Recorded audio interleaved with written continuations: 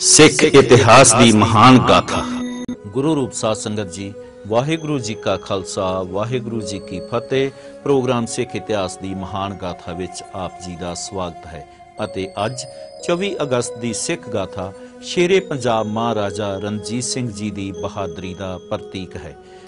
ਮਈ 1809 ਵਿੱਚ sir Charles ਮੈਟਾਕਾਫ ਦੇ ਵਾਪਸ ਚਲੇ ਜਾਣ ਪਿੱਛੋਂ ਮਹਾਰਾਜਾ ਸਾਹਿਬ ਨੇ ਗੋਬਿੰਦਗੜ੍ਹ ਅਤੇ ਫਿਲੌਰ ਨੂੰ ਮਜ਼ਬੂਤ ਕੀਤਾ। ਮੋਕਮ ਚੰਦ ਨੂੰ ਫਿਲੌਰ ਦੇ ਕਿਲੇ ਦਾ ਕਿਲੇਦਾਰ ਨਿਯਤ ਕੀਤਾ। ਗੋਰਖਾ ਕਮਾਂਡਰ ਅਮਰ ਸਿੰਘ ਥਾਪਾ 4 ਸਾਲ ਪਹਿਲਾਂ ਹੀ ਹਾਰ ਖਾ ਕੇ ਵਾਪਸ ਮੁੜ ਗਿਆ ਸੀ। ਹੁਣ ਉਹਨੇ ਫਿਰ ਕਾਂਗੜੇ ਦੇ ਕਿਲੇ ਨੂੰ ਘੇਰਾ ਆਣ ਪਾਇਆ। ਕਿਲੇ ਅੰਦਰ ਘਿਰੇ ਹੋਏ ਸਿਪਾਹੀ ਬਹੁਤ ਤੰਗ ਆਏ ਹੋਏ ਸਨ। ਕਾਂਗੜਾ ਦੇ ਰਾਜਾ ਸੰਸਾਰ ਚੰਦ ਕਟੋਸ ਦਾ ਜਮਨਾ ਤੋਂ ਜ਼ੇਲਮ ਤੱਕ ਰਾਜ ਕਰਨ ਦਾ ਸੁਪਨਾ ਟੁੱਟ ਗਿਆ ਸੀ।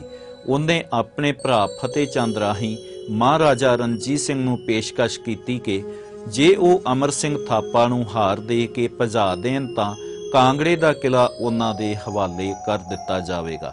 ਮਹਾਰਾਜਾ ਸਾਹਿਬ ਨੇ ਇਹ ਤਜਵੀਜ਼ ਸਵੀਕਾਰ ਕਰ ਲਈ ਅਤੇ ਆਪਣੀ ਸੱਸ ਸਦਾ ਕੌਰ ਦੀਆਂ ਫੌਜਾਂ ਸਮੇਤ ਭਾਰੀ ਫੌਜ ਲੈ ਕੇ ਕਾਂਗੜੇ ਉੱਤੇ ਚੜ੍ਹਾਈ ਕਰ ਦਿੱਤੀ। ਜਵਾਲਾਮੁਖੀ ਦੇ ਸਥਾਨ ਤੇ ਬਹੁਤ ਸਾਰੇ ਪਹਾੜੀ ਰਾਜਿਆਂ ਤੋਂ ਨਜ਼ਰਾਨੇ ਲਏ ਆਪਣੇ ਸਰਦਾਰਾਂ ਨੂੰ ਗੋਰਖਿਆਂ ਵਿਰੁੱਧ ਸਿਦਕ ਦਿਲੀ ਨਾਲ ਲੜਨ ਦਾ ਪਰਨ ਦਿੱਤਾ। ਇਸ ਕਿਲੇ ਬਾਰੇ ਪ੍ਰਸਿੱਧ ਸੀ ਕਿ ਇਹ ਫਤਿਹ ਹੀ ਨਹੀਂ ਕੀਤਾ ਜਾ ਸਕਦਾ ਸੀ। ਮਹਾਰਾਜਾ ਸਾਹਿਬ ਨੂੰ ਵੀ ਇਹ ਕਿਲਾ ਫਤਿਹ ਕਰਨ ਵਿੱਚ 3 ਮਹੀਨੇ ਲੱਗੇ। ਗੋਰਖਿਆਂ ਦੀ ਸਪਲਾਈ ਲਾਈਨ ਕੱਟ ਦਿੱਤੀ ਗਈ। ਉਹਨਾਂ ਦੀ ਤਾਕਤ ਬਹੁਤ ਕਮਜ਼ੋਰ ਹੋ ਗਈ। ਇਸ ਮੌਕੇ ਤੇ ਸੰਸਾਰ ਚੰਦ ਕਟੋਸ ਨੇ ਮਹਾਰਾਜਾ ਸਾਹਿਬ ਨਾਲ ਵਿਸ਼ਵਾਸਘਾਤ ਕੀਤਾ। ਉਹਨੇ ਗੋਰਖਿਆਂ ਨਾਲ ਸੁਲ੍ਹਾ ਕਰਨ ਵਾਸਤੇ ਗੱਲ ਚਲਾਈ। ਗੋਰਖਾ ਕਮਾਂਡਰ ਵੱਲੋਂ ਵੀ ਇਹ ਪੇਸ਼ਕਸ਼ ਕੀਤੀ ਗਈ ਕਿ ਜੇ ਮਹਾਰਾਜਾ ਸਾਹਿਬ ਕਾਂਗੜੇ ਦੇ ਕਿਲੇ ਉੱਤੇ ਗੋਰਖਿਆਂ ਦਾ ਕਬਜ਼ਾ ਹੋ ਜਾਣ ਦੇਣ ਤਾਂ ਉਹ ਮਹਾਰਾਜਾ ਸਾਹਿਬ ਨੂੰ ਕਿਲੇ ਦੀ ਕੀਮਤ ਦੇ ਬਰਾਬਰ ਧਨ ਦੇਣਗੇ। ਮਹਾਰਾਜਾ ਸਾਹਿਬ ਨੇ ਦੋਹਾਂ ਨੂੰ ਚਕਮਾ ਦੇ ਕੇ ਆਪਣੀ ਹੁਸ਼ਿਆਰੀ ਨਾਲ ਕਾਂਗੜੇ ਦੇ ਕਿਲੇ ਉੱਤੇ ਕਬਜ਼ਾ ਕਰ ਲਿਆ। ਉਹਨਾਂ ਸੰਸਾਰ ਚੰਦ ਦੇ ਪੁੱਤਰ ਨੂੰ ਕੈਦ ਕਰ ਲਿਆ ਅਤੇ ਗੱਲਬਾਤ ਕਰਨ ਦੀ ਆੜ ਵਿੱਚ ਗੋਰਖਿਆਂ ਨੂੰ ਪਛਾੜ ਦਿੱਤਾ।